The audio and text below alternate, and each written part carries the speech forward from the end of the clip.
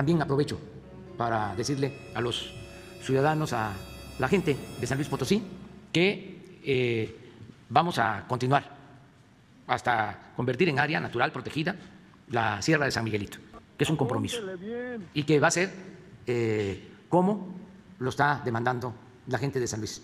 Es decir, eh, no se van a conservar este, áreas de la sierra para eh, proyectos inmobiliarios.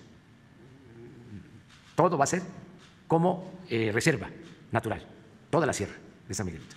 Estamos trabajando en ese eh, propósito y ya pronto vamos a dar a conocer el programa.